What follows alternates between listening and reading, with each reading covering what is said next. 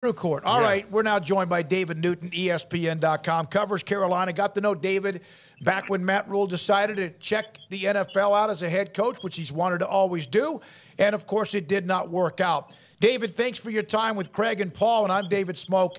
Um, besides the obvious, besides whatever the record is 11 and 27 or whatever that number is, what went wrong with Matt Rhule in Carolina?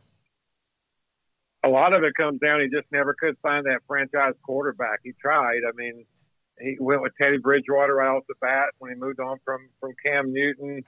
I think they they moved on too quickly from him. I think he's a guy that had they built around him, he was a guy that could have managed the game well enough to at least keep him in games and won at a level that would have given him more time to to, to wait for that right guy to come along. Uh, then they went to Sam Darnold, who was nothing but a bust with the New York Jets, and he never did anything here in Carolina in his one year there. Then they moved on to try to find Deshaun Watson. They couldn't get him and uh, lost him to the Cleveland Browns, and then took the consolation prize in Baker Mayfield. And Baker's headed for you know career worst numbers here, and um, it just never got that one piece. I think the defense was making a lot of progress last year. It played well, was playing well again this year, well enough to win, but the quarterback was making too many too many problems, and the offense in general just wasn't clicking enough to give them a chance to, to win games or at least have a serious chance to win consistently. David, uh, when they hired Ben McAdoo, I thought that was a little concerning just because I didn't know that with the offensive pieces that they had, if he would be the fit to get the most out of Christian McCaffrey and DJ Moore and guys like that. And it just seems like not only was Baker Mayfield playing awful, they weren't really even leaning into his strengths, were they? I agree. I mean, and, and you got to use Christian McCaffrey. I mean, he he's he's been healthy for five games. That's the longest stretch he's had in a while. Um, he had two straight 100 yard games, and they were moving the ball, but they just didn't stick with it enough. And um, you know, and, and Baker really never went to Christian enough as a check down receiver. He tried some of his last game a little bit and it was effective, but they they just didn't do it enough. And uh, when you got a weapon like that, you got to use it. But uh, it was just not just that. It was just the fact that the other receivers and, and, and Mayfield just never got on sync. Um, I, I think some of the things that, that McAdoo is doing is, is going to be good, but I think if you look at how Matt had success at Temple and, and Baylor, I mean, he pounded the ball a lot. I know he spread the ball out a lot at, at Baylor, but uh, he ran the ball a lot too, and they just never were able to get in a position to do that consistently here. And um, you know, it wasn't really good. Uh, complementary football, and, the defense was on the field way too much, and just a lot of different things going on. So it just just was a colossal disaster in a lot of ways. So, David, why was this timing this week the, the right time? I mean, I understand that they got they got bludgeoned, and that probably had something to do with it. But but why now at this moment was it a time to the best time to move on?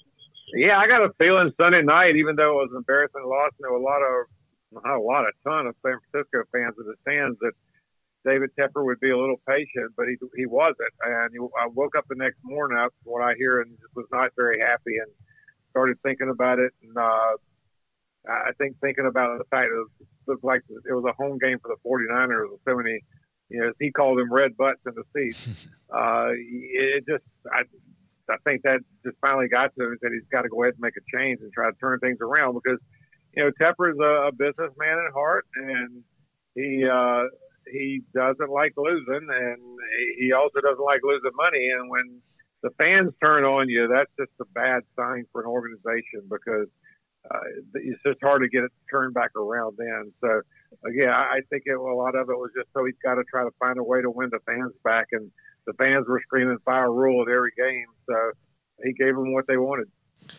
David, do you uh, do you think that there's any chance of trading off some assets for draft picks so that they can focus on moving up and drafting the franchise quarterback? This appears to be a draft that'll have a, a few guys that could maybe fit that mold, but um, you know, and they might have a great draft pick anyway. But you kind of have to guard against the Texans too, uh, going and getting the guy you may want. Yeah, I've heard that a bit about maybe they just go ahead and tank, but I mean, I think a lot of the pieces are here to, to build around. I mean, McCaffrey's the one piece I can see them moving on from because he's got the big contract.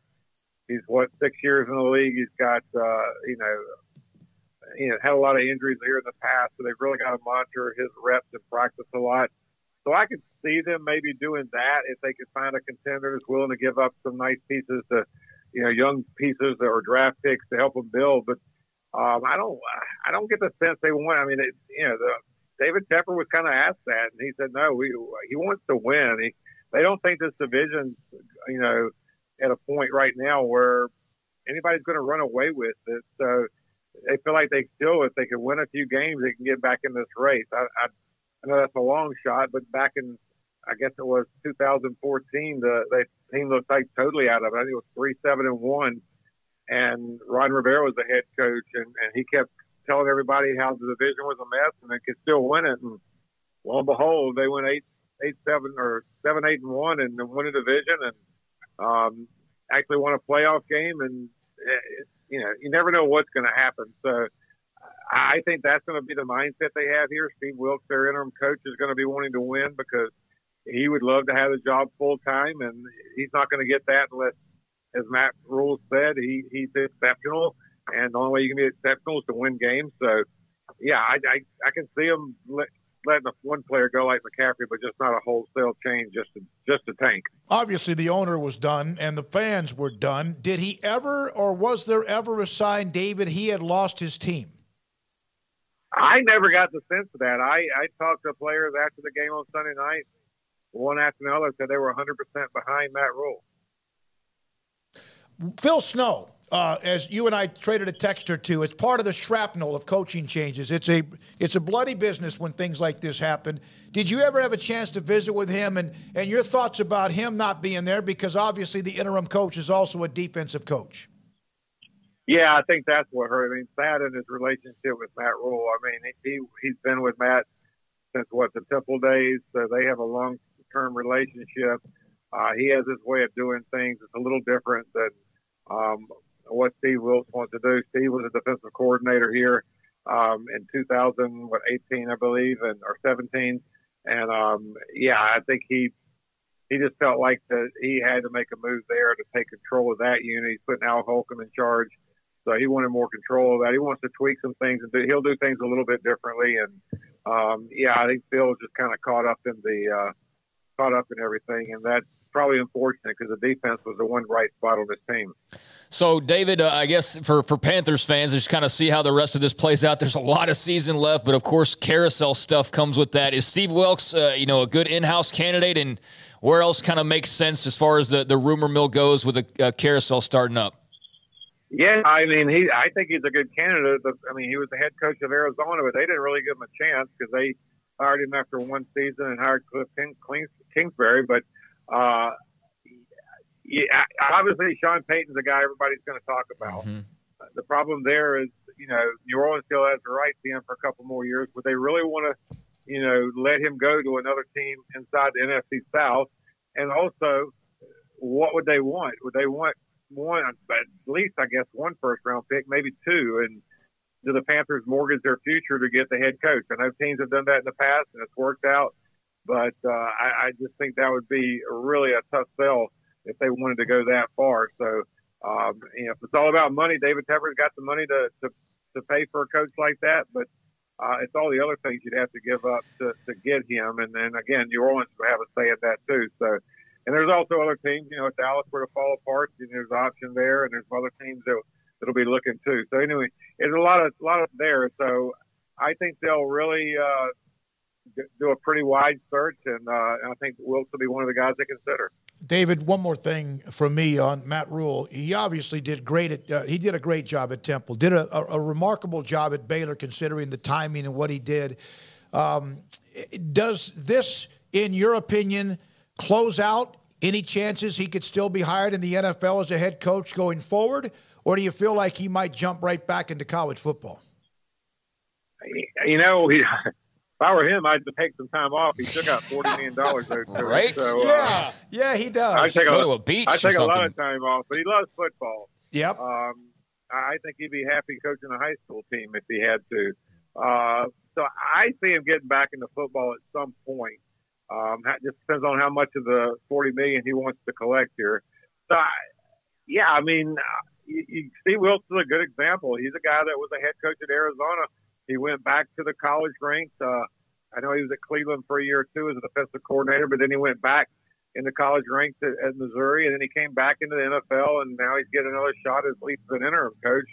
So you, it can be done, and and Matt really likes the pro game, um, so that that's a factor too. And he would like to stay in it. It was kind of his dream to be here and and succeed here. So um, I, I I think if he gets the right opportunity, he would. You got Ben McAdoo that was on his staff that was the, the head coach of the Giants, and then you know he he kind of worked his way back to an offensive coordinator here after a few years uh, doing you know going taking a, a step backwards at other positions at other teams. So yeah, you can do it. Um, he loves coaching that much, and I, I can see that being a factor. And I can also see him taking a college job, but um, they're just it has to be the right situation for him. Thank you, David. It was great talking to you back when all that started swirling. It happened quickly. We remember the visit with life, Tepper. Life comes at you fast. Yeah. yeah. And uh, I, I did reach out to Matt, and obviously I know you uh, have now to look forward to whatever happens from this point forward. We always appreciated your insight in helping us when that story started and now when it ended on Monday of this week. Yep, it happened fast and ended fast. yes, it did. Thank you very much. That's David Newton. I also saw a quote David put up on his Twitter feed yesterday about Tepper gave Matt Rhule a seven-year guaranteed contract for what yep. was it like, sixty-two million or